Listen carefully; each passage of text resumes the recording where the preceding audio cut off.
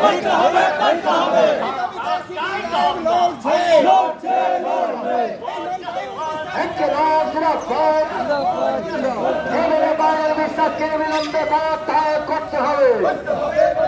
Byron বিশ্বাসের পদত্যাগের দাবিতে সিপিআইএম এর মিছিল। মুর্শিদাবাদের সাগরদিঘি সিপিআইএম পার্টি অফিস থেকে মিছিল বের হয়। সিপিআইএম সমর্থিত সাগরদিঘির কংগ্রেস বিধায়ক বাইরন বিশ্বাস গতকাল দল পরিবর্তন করে তৃণমূলে যোগদান করেন। অবিলম্বে তার পদত্যাগের দাবিতে সরভন সিপিআইএম নেতৃত্ব।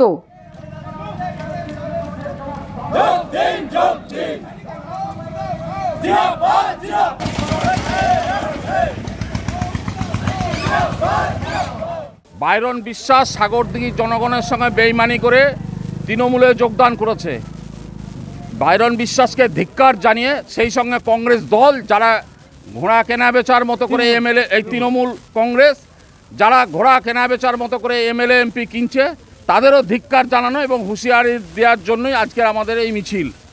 আপনারা জানেন যে গত নির্বাচনে গত নির্বাচনে বাইরন বিশ্বাস কংগ্রেসের প্রার্থী হয়েছিল।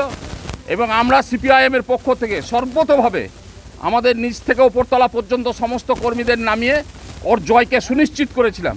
মানুষ চেয়েছিল তৃণমূল এবং বিজেপি বিরোধী জোট যাতে এখানে প্রার্থী হয়, আমরা তাকে মর্যাদা দিয়েছিলাম এবং মর্যাদা দিয়েছিল এলাকার মানুষ সাগরদিঘির আপামর জনগণ মর্যাদা দিয়েছিল। সেই মর্যাদাকেও রক্ষা করতে পারেনি। টাকার বিনিময়ে প্রলোভনে মন্ত্রিত্বের লোভ বা অন্যান্য লোভে ও পদত্যাগ পদত্যাগ না করে ও দলত্যাগ করে কংগ্রেসের তৃণমূলে জয়েন করেছে। আমরা চাই অবিলম্বে পদত্যাগ করুক সাগরদিঘিতে নির্বাচন হোক সাগরদিঘির নির্বাচনে বাইরন বিশ্বাস যদি নিজের ক্ষমতায় জিততে পারে, আমরা রাজনীতি ছেড়ে দেবো। আর যদি বাইরন বিশ্বাস হেরে যায়, বাইরন বিশ্বাসকে নাক দিতে দিতে সাগরদিঘি থেকে যেতে হবে। আমরা সাগরদিঘির মানুষকে জানান দিতে চাই, এই বেইমান বিশ্বাসঘাতক জায়গাতে সাগরদিঘিতে কোনো জায়গায় স্থান না পায়, তাই জানান দেওয়ার জন্য আজকে আমাদের এই মিছিল।